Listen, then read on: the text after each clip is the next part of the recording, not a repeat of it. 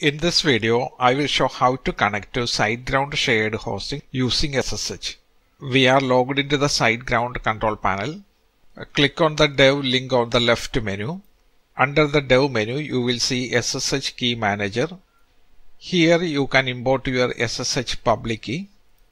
To find your SSH public key on Linux or Mac, you can take the terminal, then run the command cat dot ssh id rsa dot pub. This is my public key. Copy everything and paste it here. It says invalid field. This is because of the new line character. Remove that. Press backspace. Now we only have this line. You need to give a name for this key. My Ubuntu key. Click on import. We have the key added here. To log in, we can use this information. Copy it. The command will be ssh minus p. Then you have to specify the port. After that, you need to specify the username at the rate host name. Copy it and you can run it in the terminal. Paste the command. It will ask for the key fingerprint verification. Type yes and press enter.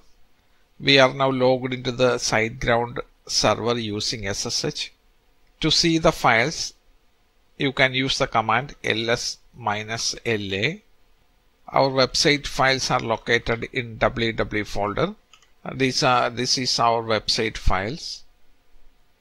If you are using Windows, you need to download software called Putty and PuttyGen.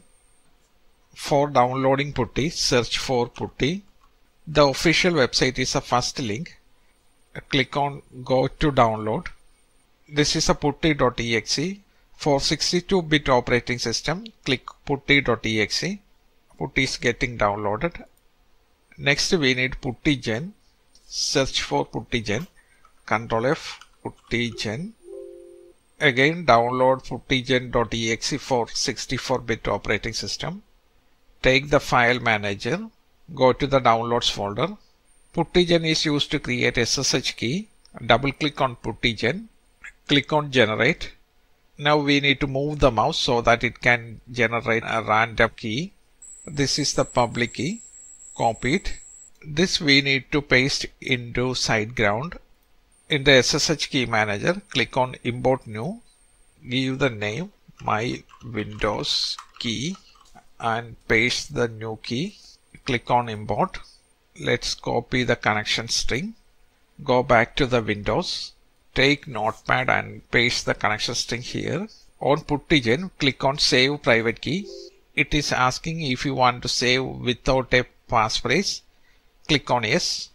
Private key will be saved as a ppk file. The extension will be ppk. I will save it as my Windows key. Now you can close the PuttyGen. To connect to the server, use the putty. Here for the host name, you have to use this host name. And the port is 18765 under the SSH auth. Here you have to browse and find that ppk file. If you want to specify, you can specify the username also here. For that, copy the username and paste it before the host name and put an at the rate.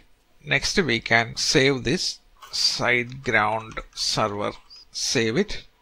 Now you can double click on SiteGround server. It will ask for key fingerprint verification. Click on accept. Now we are logged into the server ls minus l We can see all the file. If you want to revoke access to an SSH key, you can delete it. Click on the three dots and delete the SSH key. If you want to limit SSH access to a specific IP address, you can click on the three dot, then click on manage IP addresses. Here you can specify the IP address that is allowed to connect to SSH server. Thank you for watching. Hope you find the video useful. If you like the video, please subscribe for more videos like this.